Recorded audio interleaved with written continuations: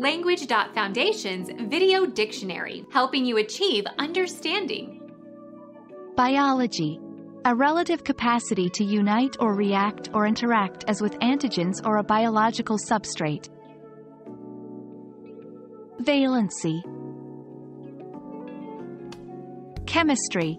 A property of atoms or radicals. Their combining power given in terms of the number of hydrogen atoms, or the equivalent.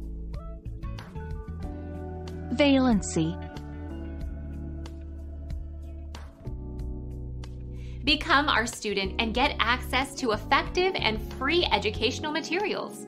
Subscribe to our channel to become a part of our growing community and to learn English effectively.